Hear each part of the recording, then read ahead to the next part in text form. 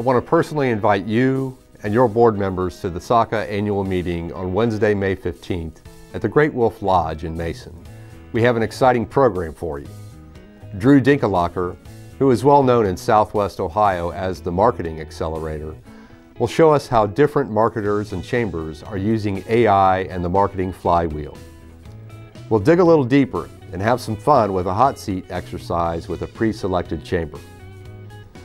Mark Perone, owner of Rethink Revenue, will demonstrate how some SOCA chambers of commerce are gaining new prospects through the testing of SOCA's Win4 marketing concept and how your chamber can begin using the program as well.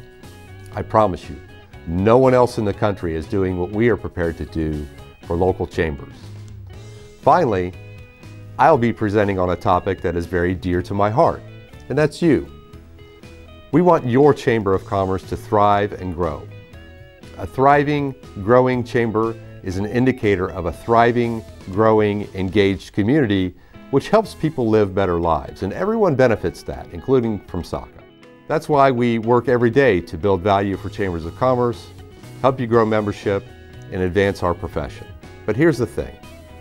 While you are working at your one chamber, SOCA has regular contact with 278 out of the 315 chambers in Ohio. So we see things from a broad perspective. You know, I've been doing this for 11 years. Our staff has more than 40 years of chamber experience, and we've seen four distinct problems emerge time and again, which I call the four critical challenges facing local chambers of commerce today. The four critical challenges are persistent problems within our industry that erode the Chamber of Commerce brand and our credibility. They're not going away.